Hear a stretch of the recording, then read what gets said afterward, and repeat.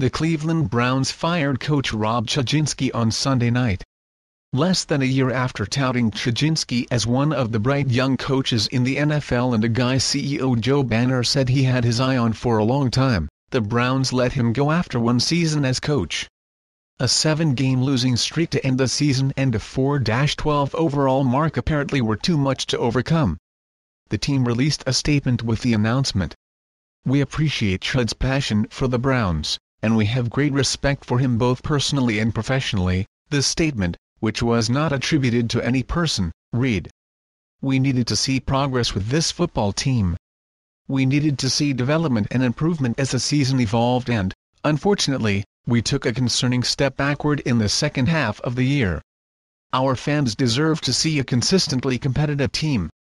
We have high standards, and there's an urgency for success. When we believed we were not positioned to achieve significant progress in 2014, we knew we had to admit that a change was needed, and move forward.